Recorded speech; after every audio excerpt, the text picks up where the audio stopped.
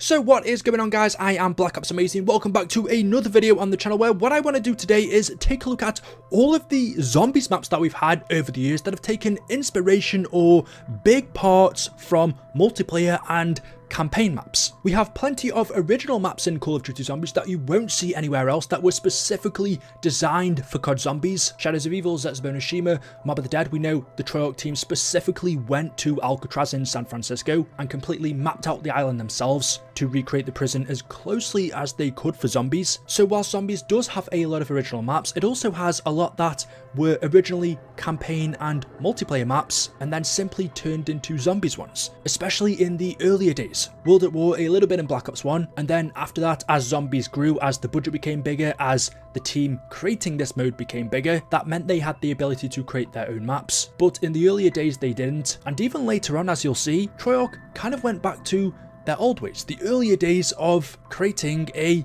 Call of Duty Zombies map. So I thought it would make for an interesting video to take a look at Zombies maps that were either campaign missions or multiplayer maps to see how different they turned out to be. So back during World at War, as you would expect, every zombies map that we had in that game was taken from either the campaign or multiplayer, and actually even the multiplayer maps in World at War, a lot of them were originally campaign missions. Call of Duty during that time was a lot simpler, but Nacht der Untoten was reused from the multiplayer map Airfield, which was also reused from the campaign mission Hard Landing. And if you compare the two side by side, they're pretty much identical. The only big differences that you notice is on the campaign mission, some of the walls are fully open, whereas on Nacht they've been closed off. But other than that, the layout is completely the same. Of course, windows and barriers where these zombies can enter have been added onto the Nacht map, along with other zombie-specific features such as the mystery box, wall weapons, etc. But when it comes down to the layout, the whole playable area, this bunker itself, was a campaign mission. And I will say, this is not a bad thing, because zombies during that time was literally nothing. Treyarch didn't have the ability to create zombie-specific maps, but also they did a really good job. Nacht der Toten, I think, feels quite a bit different to a multiplayer map. They've made it dark, grungy, it fits the tone of zombies. So for what it was, especially considering how small Nacht is, just taking this small bunker from the campaign and using it as a full zombies map Treyarch did well to make it feel more than playable, and this is what kickstarted Call of Duty Zombies. Verrückt was also taken from the multiplayer map Asylum, which was also taken from the campaign mission Ring of Steel. Similar to Nacht, the layout is pretty much identical, all I can see they've done is, again, closed off some walls that were originally open, added zombies features. I will credit Treyarch here and say, to this day, this is still for me the best horror map we have for zombies and to think well this was originally a campaign mission a multiplayer map. It wasn't made specifically for zombies. A lot of the assets here wasn't supposed to be horror themed yet somehow Treyarch managed to make it feel like a scary horrific map. The fact that this is still considered by most people the scariest zombies map ever is credit to the Treyarch zombies team being able to turn this map into what it was with very limited budget and developers being very restricted. Shi No Numa was also a campaign level, Semper Fi. I think this one is the most different compared to any other World at War map, because as far as I can tell, the main area, the big hut, and all of the surrounding ones as well where the perks are located are original and unique. It mainly just reuses the assets, whereas, you know, the Nacht building itself was in multiplayer and campaign. The Verrückt building was in the multiplayer and campaign. It's the same for Der Riese, but the main buildings in Shi No Numa were completely original. It's just because it reuses assets and those assets are very specific, having the Japanese swamp theming, you can tell it comes from the campaign mission Semper Fi or the multiplayer map Making or Makin, however you pronounce it, I've never known. But yeah, because of that, I would actually say Shi No Numa is an original map that was designed specifically for zombies. And I will say that before I carry on, I'm not going to talk about maps that just take assets. I want to compare maps that you can tell were taken from the campaign and MP and turned into zombies to see how well Treyarch did making that conversion. So actually, Shi No Numa is a pretty original map,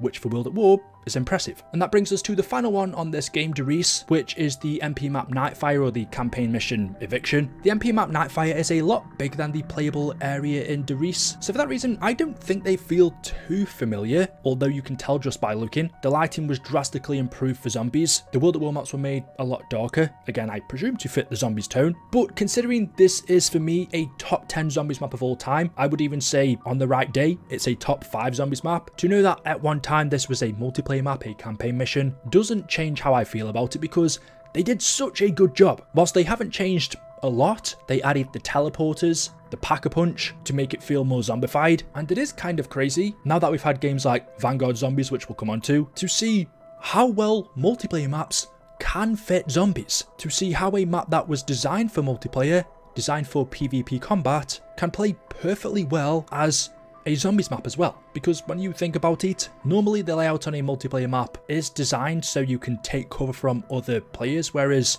on a zombies map, well, you're not taking cover from bullets. You don't really need to take cover from zombies, you take them head on. So the design of a zombies map compared to a multiplayer map or a campaign mission would normally be different, but to see a MP map fit zombies so well is credit to the multiplayer team and the Treyarch Zombies team for making it feel like a zombies map. We then move on to Black Ops 1 where I would say from here on, maybe the first couple of maps, the Treyarch Zombies team started to grow, their budget started to grow and the mode as a whole wasn't really this bonus game mode anymore, it was beginning to become its own thing and so this meant as we progressed on throughout the years, the Treyarch Zombies team could start to create their own maps without having to be given what was handed to them. So the first map, Kino der Toten, is completely original to zombies. I mean, yes, there are assets that are taken, but as far as the layout goes, it's completely original. 5, which I would consider a bonus map anyway, was taken from Black Ops' campaign. It reuses parts from two different missions, USDD and Rebirth. If I'm not wrong in saying, I think the top two floors come from USDD and the bottom level, the laboratory, is from the campaign level Rebirth. The layout is pretty much identical, so yes, this is a campaign mission. You kind of can't tell. Maybe it's because the Pentagon is a good location for a zombies map anyway, and it's a real life location. So even if the Treyarch Zombies team made this themselves, the layout would still be the same because it's based off the Pentagon. Ascension is probably the most noticeable. It is the multiplayer map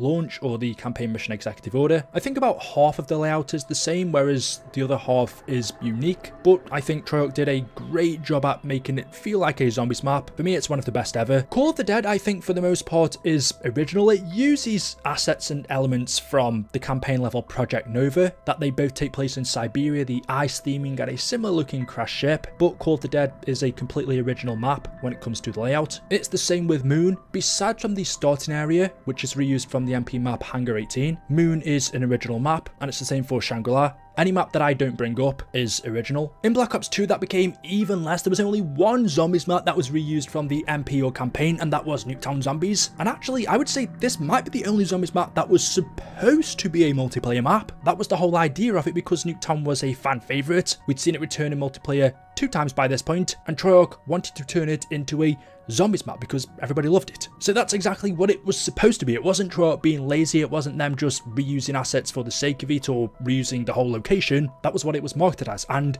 it worked. I wanted to play a zombies version of Nuketown. They knew that and that's what they gave us. But besides from that, Transit Die Rise, Mob of the Dead, Buried, Origins, all completely original maps. You could say, I don't know, parts of Transit. We saw the Nacht building implemented in there, and of course, assets are going to be reused. But as far as them being designed layout-wise, specifically for zombies, they're all completely original maps, which was a huge jump if you think about it. Black Ops 2, I would say, is the game when you could tell zombies was now at the next level, when the mode was getting its own original maps. We then had Black Ops 3 Zombies, which follows pretty much the same line. We had the Giant, but the whole idea of that was for for it to be a remake of Der Riese, of course, Der Riese being based off the campaign level eviction, so you can't really count that, and every other map is original. Whilst they use assets, Der Eisendrache takes some from a campaign mission, I can't remember what it was called, Zetsubou, Gorod, all original, Revelations, the whole point of that map was to take parts from the zombies maps. So all of Black Ops 3 zombies maps were original.